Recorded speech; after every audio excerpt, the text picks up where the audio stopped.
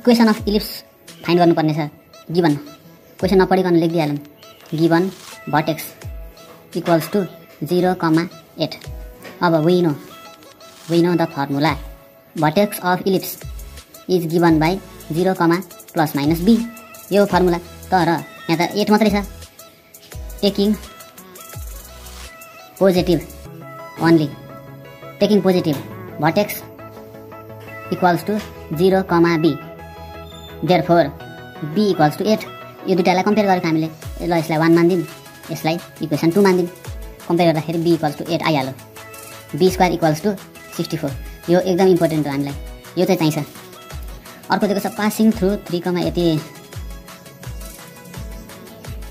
अब यहाँ लेखौँ। Equation of ellipse passing through passing through three comma thirty two by five भनेपछि यदि यहाँबाट पास हुन्छ भने यहाँबाट पास हुन्छ भने के हुन्छ? एक्स इक्वल्स टू थ्री हुन्छ Y equals to thirty two by five हुन्छ। यदि कुनै कुनै इक्वेसनबाट पोइन्ट पास हुन्छ भने त यही हो।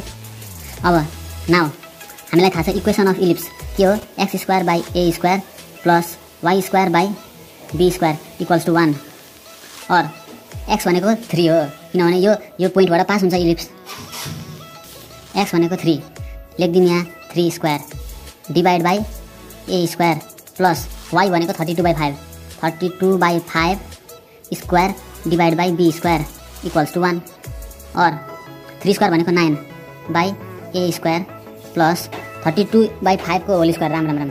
Thirty two by फाइभको whole square one thousand twenty four divide by twenty five one thousand twenty four divide by twenty five divide by B square equals to one oh sorry B square तो sixty four दिएकै रहेछ और nine by A square plus one thousand twenty four divide by twenty five into one by B square equals to one और nine by a square plus one thousand twenty four divide by twenty five into b square भनेको sixty four sixty four equals to one और nine by A square अब यो solve गरौँ one thousand twenty four into twenty divide by twenty five into sixty four भनेको sixteen by twenty five plus sixteen by twenty five equals to one और nine by a square equals to one minus sixteen by twenty five और nine by a square equals to यसलाई direct लेखौँ।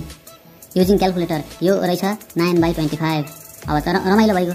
Nine nine cancel अब a square equals to twenty five therefore a square equals to twenty five a equals to five a equals to five चाहिँदैन हामीलाई, यो चाहिन्छ।